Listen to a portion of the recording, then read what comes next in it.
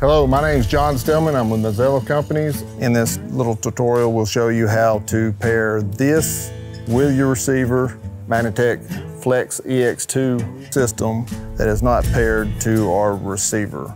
You know, if you ever lose your transmitter, this is an easy way to, if you have a spare transmitter, to program it to your receiver. Always start with the stop switch pulled out and your, your transmitter off.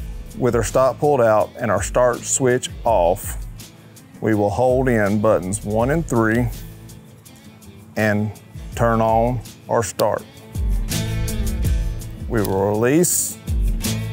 We'll get a green flashing light with an orange uh, light with it, and then we will hold both pairing with our third button, and we'll get our green status light, and everything should be connected, and we should be able to turn it off. Start it back up. and everything works.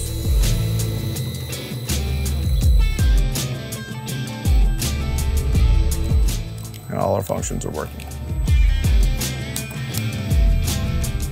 I hope this information was helpful today. If you have any questions or comments, please let us know. We're here to help.